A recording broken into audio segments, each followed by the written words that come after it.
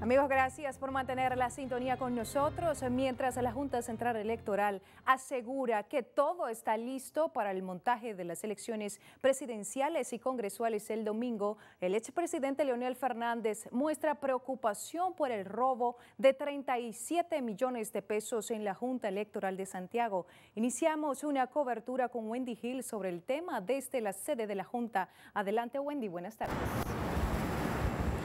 Sí, muchísimas gracias y muy buenas tardes. Y aunque ha causado gran impacto en la sociedad el robo de la Junta Municipal de Santiago, todavía no se ha tenido una respuesta oficial del organismo rector de comicios. Esta mañana el presidente de la Junta se limitó solo a ofrecer unas breves declaraciones hablando de lo bien que va el montaje sin permitir preguntas de los periodistas y de forma evasiva se alejó del escenario. Aquí no hay ningún problema. Aquí está todo organizado. Aquí está todo resuelto. Y el país puede contar con que vamos a tener elecciones este domingo 5 de julio, sí o sí. Muchas gracias. Presidente, y el dinero que se robaron. Mientras los partidos se muestran preocupados por lo ocurrido en Santiago. Pueden perder las urnas, se puede perder el material electoral, se pueden perder equipos y entonces estaríamos perdiendo la integridad del proceso. Y en torno al montaje decir que a partir de hoy hasta el viernes las juntas municipales estarán entregando a los diferentes colegios las valijas con todo el material. Pero ahora vamos a pasar con nuestro compañero Ramón Peguero, quien se encuentra en la Casa Nacional del PLD, con reacciones sobre el robo de la Junta Municipal de Santiago y otros temas concernientes al proceso electoral. Muy buenas tardes, Ramón. Cuéntanos. Gracias, buenas tardes, Wendy. El expresidente Leonel Fernández calificó como preocupante el robo de los más de 37 millones de pesos de la Junta Municipal de la provincia de Santiago, al tiempo que solicitó a las autoridades realizar una investigación a profundidad sobre el hecho. Pero es realmente censurable, es una cosa este, que nunca habíamos vivido en este país, que se roben el dinero de las elecciones, pues eso nunca se ha Resulta sospechoso el hecho de que en, los últimas, en las últimas semanas hayan habido dos hurtos ahí en Santiago. Al término de una reunión virtual con miembros de la OEA realizada en un hotel de la capital, donde trataron temas concernientes al montaje de las elecciones, el también candidato presidencial por la Fuerza del Pueblo señaló que la firma de un pacto para que se respeten los resultados de las elecciones no tiene sentido. El candidato del PLD no tiene autoridad moral para pedir que los candidatos suscriban pactos de aceptación de resultados. Lamento mucho que se precie así. Si en el proceso surgen situaciones que violan los procedimientos y se pueden probar, entonces el proceso carecerá de legitimidad. Desde el partido oficialista denunciaron una supuesta trama por parte de la oposición para perjudicar el día de las elecciones a los peledeístas. La trama consiste en instruir a un grupo de simpatizantes del PRM para que efectúen un simulacro de compra masiva de cédulas en diferentes colegios electorales con el objetivo de manipular el resultado de las próximas elecciones. Pidieron a la Junta Central Electoral y a la Fiscal Electoral prestar atención a esta denuncia. Es todo, retorno contigo al estudio. Muchísimas gracias Ramón Peguero y a Wendy Hill por este reporte. Bueno, señores, así va la cosa a tan solo días de las elecciones presidenciales. De su lado, el Instituto Dominicano de Aviación Civil y prohibió el uso y operación de los drones privados en todo el espacio aéreo del país durante la celebración de las elecciones del domingo. La prohibición del IDAC está contenida en la resolución 006-2020 que se aplicará en horario de 6 de la mañana hasta las 6 de la tarde del domingo por motivo de los comicios. El IDAC aclaró, sin embargo, que la prohibición de drones no se aplica para los aparatos operados por las Fuerzas Armadas por su responsabilidad en garantizar la seguridad durante las votaciones. En otra información, en Asua, empleados en la Junta Municipal Los Fríos denuncian que el exdirector supuestamente emitía cheques cuantiosos a nombre de personas y los desembolsaba falsificando la firma de la tesorera. Juan Luis Vargas trabajó el tema. Nos cuenta más. Empleados denuncian a exdirector de Junta Municipal Los Fríos, emitía cheques a personas sin sus consentimientos y los desembolsaba. Porque nunca yo recibí un cheque de la mano de ese señor. Ese caballero a mí me pagaba a mí por día 1.300 pesos y me lo daba en efectivo. Y ahora estoy apareciendo con cheques de ciento y pico, de 26, de 80. está mal porque yo ese dinero yo no, no, no era mío. No era mío porque yo no lo cambié. ¿Usted me entiende? Entonces, no hay una firma que aparezca que fui yo que la hice en un cheque de eso. Ex tesorera confirma que Marino Delgado, el ex director, hacía el acto irregular falsificando su firma. Él lo hacía, sí, él hacía unos cheques, él lo hacía y lo endulzaba con mi firma. Nunca yo llegué a firmar esos cheques, él mismo lo endulzaba. El nuevo director municipal además lo acusa de sobrevaluación de obras.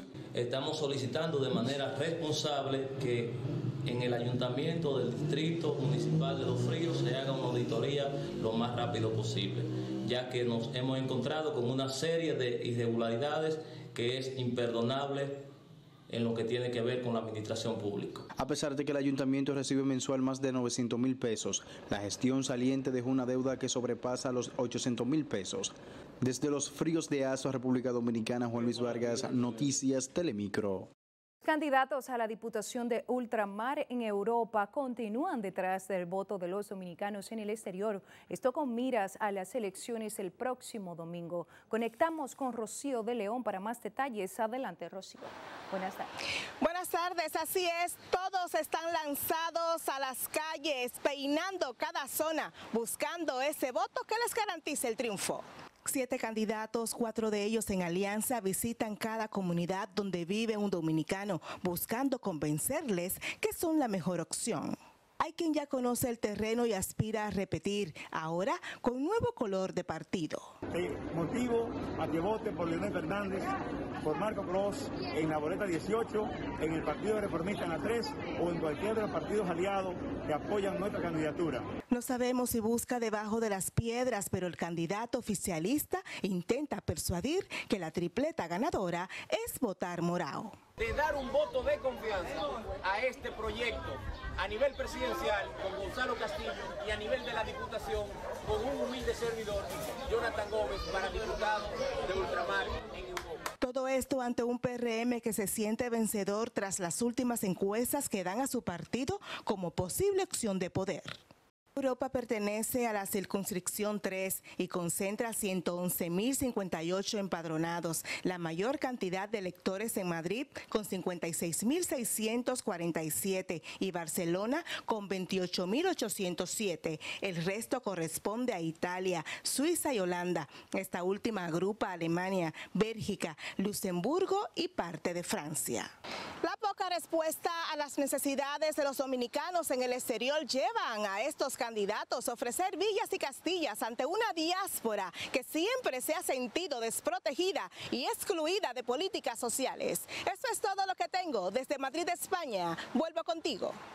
Gracias, Rocío de León, por este tema desde España. En otra información les contamos que la lucha por la senaduría y dos diputaciones en la provincia de Bauruco pone en prueba el liderazgo de ocho mujeres en las elecciones del próximo domingo. Faustino Reyes Díaz con el reporte. Desde el 2006, Bauruco no se representa por una mujer. Melania Salvador se enfrenta al senador Manuel Paula por su retorno al Senado. Tenemos una agenda rural, desde temas para atender a la niñez, a la juventud, a la mujer, a los envejecientes, al desarrollo, al apoyo agrícola. Yumeris Félix y Olfanis Méndez y otras cinco mujeres compiten con siete hombres por dos puestos en la Cámara de Diputados. Que el 4% de la educación. Vamos a trabajar para que de verdad se invierta. Porque ese es mi, mi sueño principal luchar por la provincia de Bauruco. Las féminas tienen bien claro de su papel en los hemiciclos. Implementar leyes o mejorar las ya existentes que favorezcan la industria vinícola, la mejora y ampliación de la siembra de uva No se descarta que Bauruco sea representada por tres mujeres en el Congreso a partir del 16 de agosto. En Neiva, Faustino Reyes Díaz, Noticias Telemicro.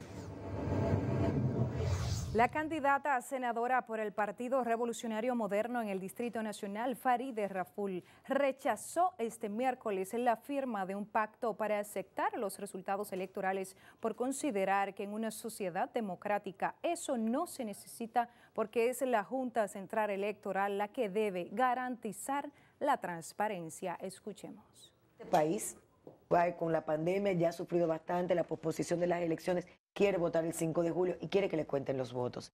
Nosotros, en principio, apostamos a que la Junta Central Electoral haga un buen trabajo y por eso a través de nuestros delegados estamos sirviendo de veedores para que sea así. Y si no, vamos a luchar para que sea así. En otro orden, Raful dijo que seguirá promoviendo la reorganización de al menos 54 instituciones que ejercen las mismas funciones para generar mayor eficiencia en la calidad del gasto, lo cual debe traducirse en el beneficio a la población. La diputada del PRM fue invitada al programa matinal de esta planta televisora.